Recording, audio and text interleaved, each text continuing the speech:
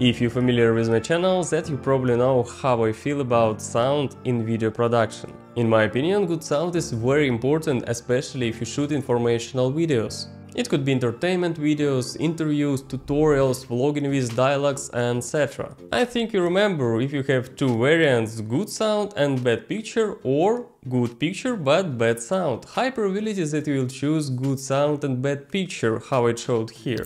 Good quality picture is important, totally, but I think that for this type of video good sound is much more valuable if you want to someone watch you. Good quality picture is important, totally, but I think that for this type of video good sound is much more valuable if you want to someone watching you. And nowadays most of the people don't really watch, they actually listen videos. Specifically 63% of YouTube's watch time comes from mobile devices.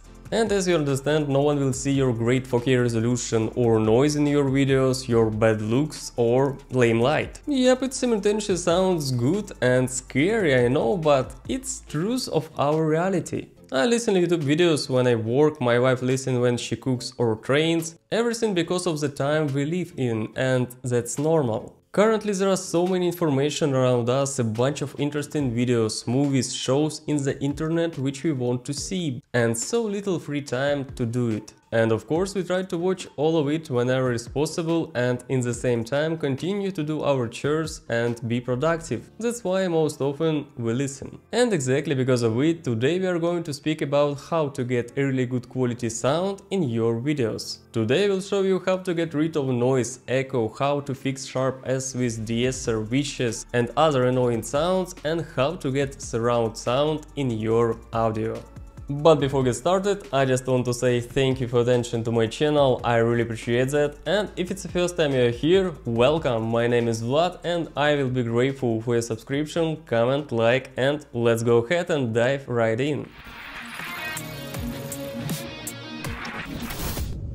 So as usual I will work in Final Cut Pro 10, previously I was doing all these things in Premiere Pro as well, so you can easily find out almost all the same tools in your video editor. Why almost? Because Final Cut Pro 10 after version 10.6 got a lot of improvements and great new features which can make your sound editing more convenient and faster. On the other hand, I know that Adobe and DaVinci also have a lot of cool tools, so I'm pretty sure that you will be able to make the same actions as in Final Cut Pro 10. So here on the timeline I already have my recorded voice without any changes, just inbound sound from my mic. By the way, I use microphone from Shure MV7 about which I already spoke in this video. Good for me that it's really good mic, especially if you speak close to it. By the way, it is the main silver bullet of getting good sound. But for this case I was recording specifically far from the mic to show you after in editing all possible variants how to eventually get a really good sound even if you record it with a really bad mic.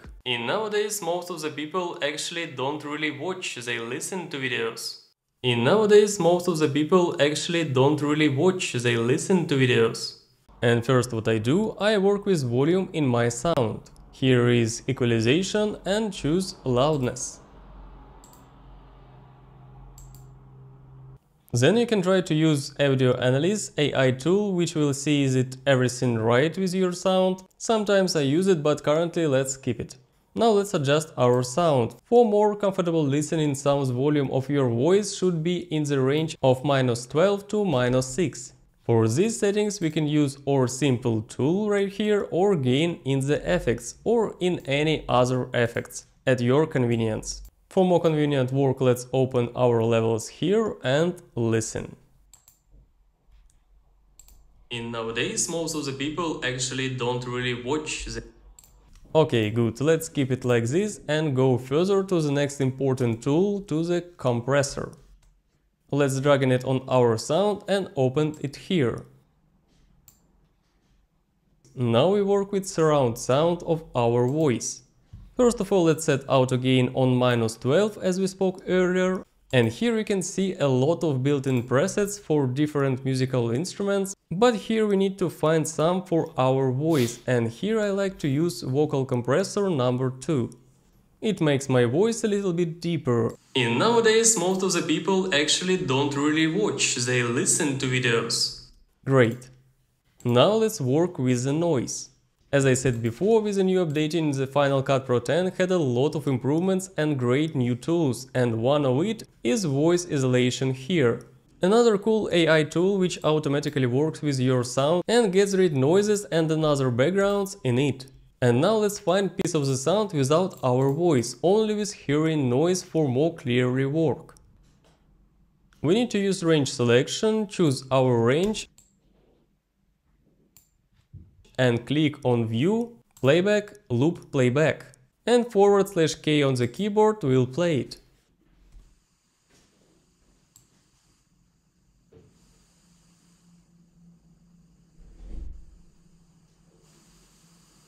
If you turn on voice isolation even with 40% we will hear changes. Adjust it up to you, but if you don't have this tool you can also use the noiser and adjust it here nearly minus 90, depends on your noise level. In nowadays, most of the people actually don't really watch. Let's go ahead and work with the echo if it is in our sound. In my audio it is because I have quite empty room, so let's open next tool which call it enveloper and drag it to our clip. Here we need to choose room killer, play our audio and start to adjust it with this gain slider. In nowadays, most of the people actually, in nowadays, most of the people actually, in nowadays, most of the people actually, in nowadays, most of the people actually, in nowadays, most of the people actually, in nowadays, most of the people. In my case, minus 10 or around this, always more than enough to get rid of annoying echo in my sound. You can adjust it by your own up to you, but make sure that you didn't break your general sound. Let's continue and work with another great tool which will help us to handle with our annoying S, whooshing in sounds, the deesser. Let's open and drag it in our clip. Then select range with pronounced S letter and loop it. Here mostly I use reduce presence number 1, it works the best for me.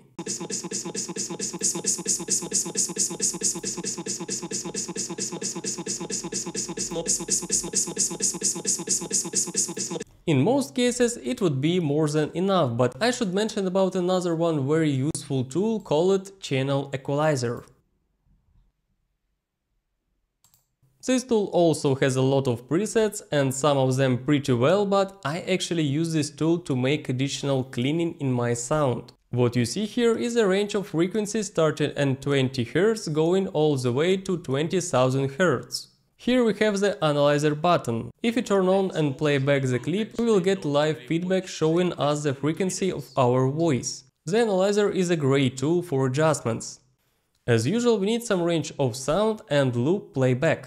Here is in the middle we have 4 points. Let's drag up one control point quite a bit and then narrow our correction by reducing the Q. We need to listen and find any unwanted whistles, pitches and noises in our sound, like this.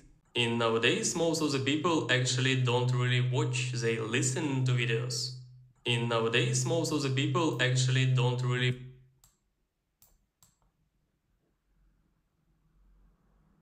in nowadays most of the people actually don't really watch they listen actually don't really watch they listen to in nowadays most of the people in nowadays most of the people actually don't really watch they listen to videos great in nowadays, most of the people actually don't really watch, they listen to videos. In nowadays, most of the people actually don't really watch, they listen to videos. And eventually you can save all your changes as a preset. To do this, go ahead and select the audio file with which you have worked, then go to File and Save Audio Effect Preset. Here you can name it and choose Category Custom and Save. And here in Custom Effects Audio you can find your created preset. And all you need to do is just drag it to your future audio clips. Important to mention that you need to be careful, don't overdo it and listen your audio throughout the whole editing process. Because imperceptibly for you, you can mess up your sound and make it even worse than it was before. So don't do that. Then you need to work with headphones. Don't trust built-in speakers in your laptop, monitor or whatever. Because you won't be able to do quality editing with them. Best approach would be to use professional equipment, of course, headphones or monitors for audio studios. But you know, Apple EarPods is still not bad or other headphones with real or nearly real authentic sound, without dominant bass, low or middle frequency. It helps you to hear all disadvantages in your sound and it will be easier for you to fix them. In summary, practice, experiment with sound and don't overdo it, okay? Great. See ya! Never stop, I'll get it if I want it. Gotta make to myself a promise. I won't quit, keep going till I got it. I won't give up till I'm on top, Yo, yeah.